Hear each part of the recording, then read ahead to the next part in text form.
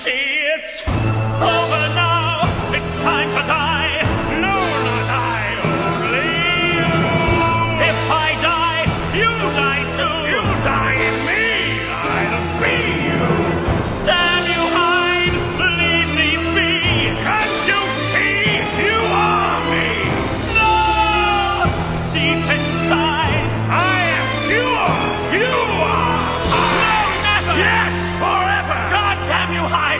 Take all your evil deeds and rot in hell!